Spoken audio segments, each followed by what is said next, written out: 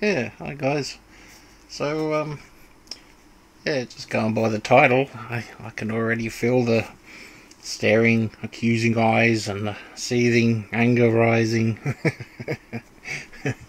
uh, yeah, so, um, I, I know all you guys out there that are not really King James fans are just rolling in their eyes going, yeah, we know, we know. uh, but, uh, yeah, no, I've come to realise, like, I, I, obviously, those that know me, I'm a King James only um, sort of person. Um, but I can, I'm now well matured, which is thank, thankfully um, in that line of things, and I can see where I used to be. Um, used to be like the KJV only people as well. Like um, this this bit here, I'll just This is like what I mean by crazies. Um, quick to anger and slow to forgive. You know, they'll smash you with a KJV and you must accept this and oh, you're going to hell forever. And so a soft answer turneth away. So they don't really read the KJV.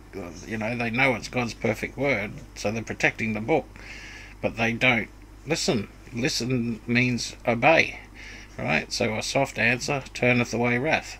Uh, are you listening and obeying when you're attacking someone straight away? You know, if you're angry, it says here, a soft answer turneth away wrath. So, um, for the wrath of a man worketh not righteousness of God. A fool uttereth his mind, but a wise man keepeth it in until afterwards. So, anyway, you know where I'm going with that. So, hopefully, the KJV only people have settled down a bit. Alright.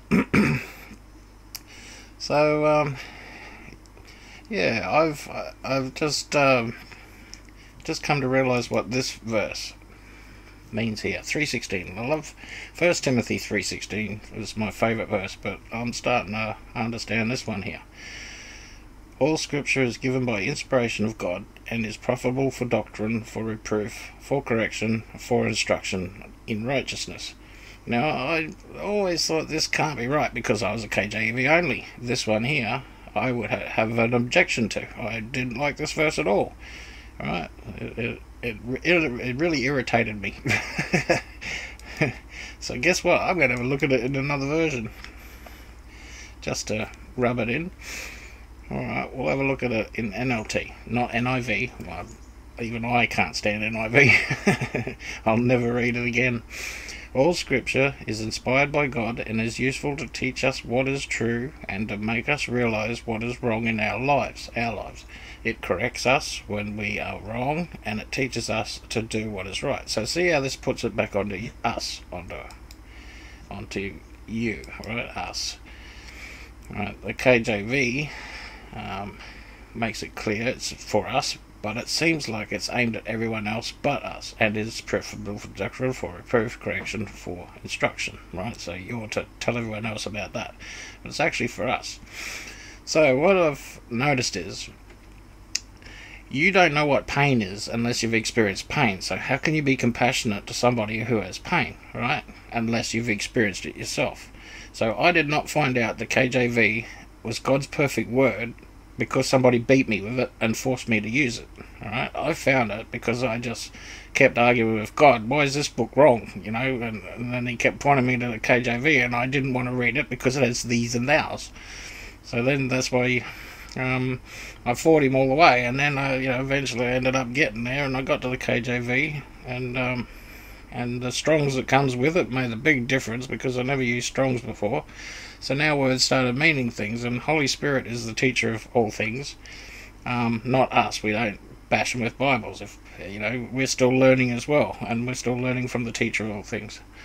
So um, this is why this verse is meaningful. It means you got to learn by mistakes. You must experience pain before you can realize why it's bad. How do you, you know, especially avoiding sin and all that? You must realize what sin is before you can avoid it. So, um, yeah, that's in my respects. That's why I've settled down and, well, not just that. I've been working on getting fruit of the spirit. fruit of the spirit is awesome. It's crowns. It's it's it's as it says. There is no law if you have fruit of the spirit. So, um, yeah, as long as you have God, right, and you're hanging out with God, and um, God's in your life, and love God above all things, and love your neighbour. The next one is fruit of the spirit. That's what you should be working on. So, um, yeah, I hope that's helpful, and for you KJV only guys and gurus, all right, you have no. If you're still all grumpy and beating people over the head about the KJV. You have no idea what's in that KJV, and it's so vast, so massive. Like numbers mean things. Um, the amount of times things are repeated means things. Uh, the um, and there was the is and the is to come and the type and shadows and the, it, it, it is it is fractal. I don't know if you know what fractal means but it is a massive it is so massive. Yeah. holy spirit wrote it. You you just can't grasp how big this book is. This is what you should be digging for looking for all these things. It's wonderful. All right so um that's how you preach kjv lovingly all right so um and I'll also I'll get the comments in the comment section where they don't even watch the video. So yeah, good good on you. All right, God bless, guys.